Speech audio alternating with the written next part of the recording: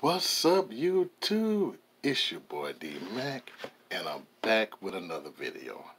How y'all doing today?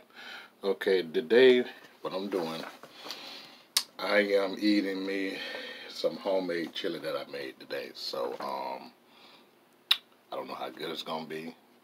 This is the first time actually making chili, but, uh, I use ground beef onions, tomatoes, chili powder, onion powder, salt, pepper. Um, yeah, um, and hamburger, of course. And um, I just let it cook or whatever, whatever like that. And boom, I'll go with my chili. And I use beans also, so kidney beans. So, and here go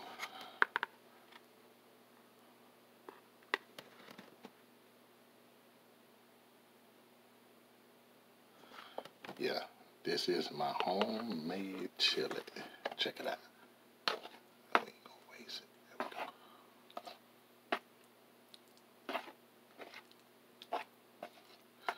But here we go.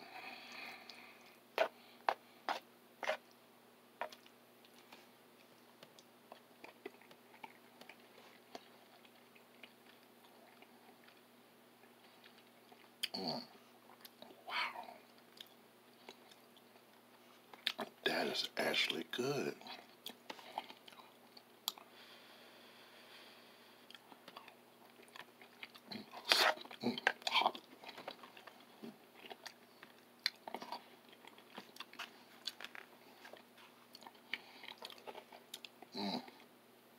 That is good. That is really, really good. Check it out. Let y'all get a bite. Uh, Daniel's homemade chili.